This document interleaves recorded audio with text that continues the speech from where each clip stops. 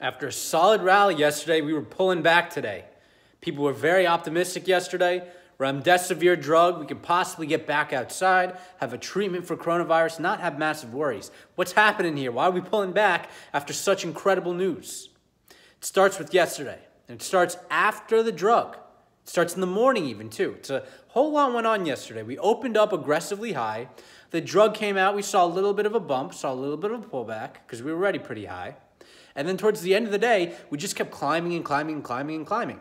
It was a little too aggressive, if you ask me. It seemed like people were just reaching, just trying to get their hands on some stock, need to add some stock to the portfolio towards the end of the day.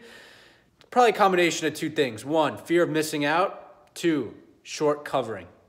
After that remdesivir drug came out, after states started opening, anyone who was short realized we were not going to retest the lows. And that was a big saying that was going around.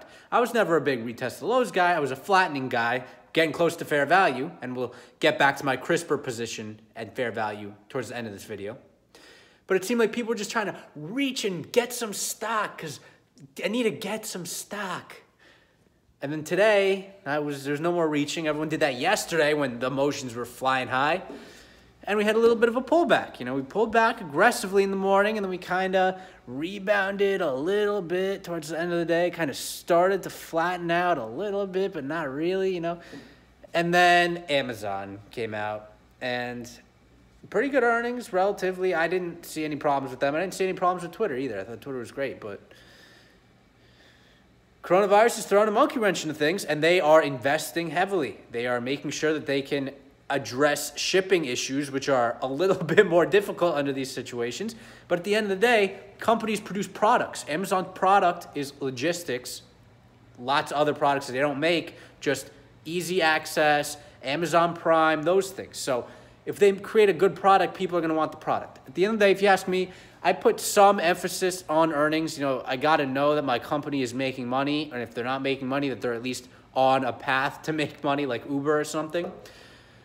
But this is not changing of the business for Amazon. And if you ask me, I almost like it. I like that they're finding where their problems are, that they can't handle the heavy load of massive increases in shipments right now, so that they're spending all of their profitability, all the money they're getting, $4 billion, whatever it is, on investing back into the business and making it an even stronger business and an even stronger product. So I'm not an Amazon shareholder. It's a little too expensive for me, and I like Walmart.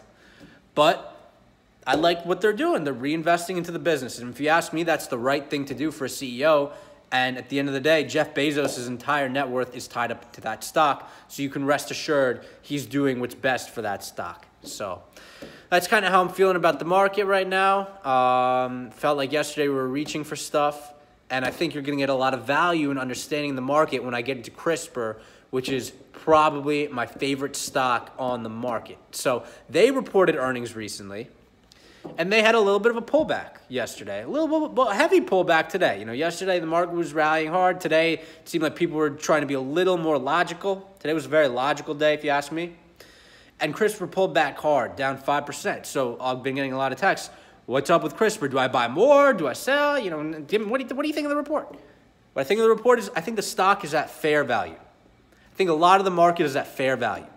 There's a reason why I've wanted the market to flatten out. This economic damage that's been happening, and we're close to the all time highs. So I don't think we should go up in most categories. Um, so I think we're at fair value in the market, and I do think that uh, happens with CRISPR too. So CRISPR isn't making money right now; they're making like two hundred thousand dollars a quarter. doesn't doesn't count for anything. They have eight hundred million dollars in cash. They have eight hundred million dollars that they can get in cash by hitting certain milestones in the development of their technology. They're spending seventy million dollars a quarter on general business expenses, having the best scientists in the world, some of which, and going through their human trials. It's a very big, intensive process. They got to actually perform the CRISPR technology on human beings. We're approved for that. It's fantastic. But at the end of the day, the company's got its cash, it's got incentivized cash so they can get more cash by hitting milestones, and they're just gonna focus, like Amazon, on developing the product and developing the technology. People, Stocks are more than just stocks. These are companies. These are assets. These are people, human capital, financial capital going to work to make a better world and a better future. So let's focus on that. People are shitting on Amazon right now. Stock's down 5%. Why? Because they got to reinvest in having better shipping. it's, it's, it, there's a little bit of a, you know, displacement between people looking at companies on paper and what the companies actually are. The companies are almost like micro nations, you know? They provide things, they do things. They're groups of people striving towards a mission to create something. So, CRISPR is that. CRISPR, I think, is at fair value, you know, $3 billion about. They don't make money, but they have proprietary technology, and it's a group of the best scientists in the world. They've got $800 million on the balance sheet in cash. They've got $800 million in cash that they can get. They've got the people, the human capital, and they've got the technology. $3 billion, fair market cap. Now, if it's fair, that's not good. It's not good. It's literally not good. So do I buy it? Well, here's what I've been telling people. Just got a text from this from a friend of mine. Do I buy CRISPR?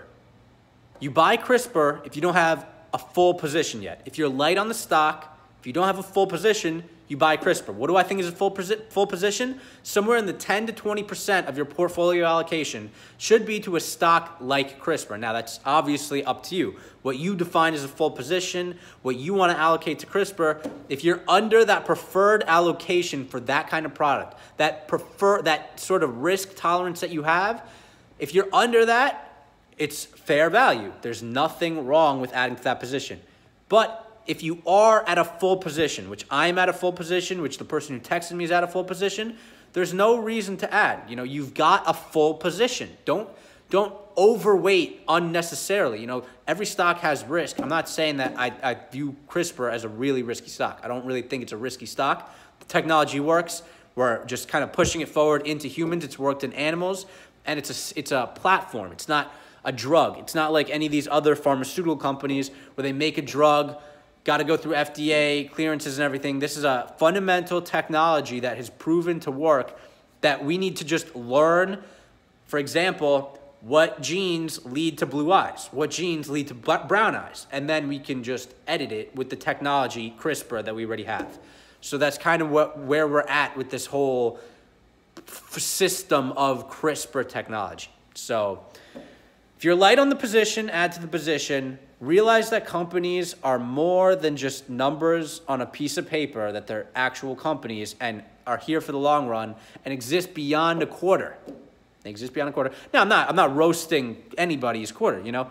I think every, every move that has been justified or has happened is somewhat justified. So I think companies deserve to move on earnings reports. They should move on earnings reports, but keep in mind that companies are actual entities that make products and focus on the products, not so much the earnings. So if Amazon is reinvesting all that cash to cover for the fact that shipping is a little bit more difficult during COVID 19, realize that now they're going to have the best shipping system and logistics possible, which is their product, which is going to be better after this stress test by COVID 19. So until tomorrow, peace.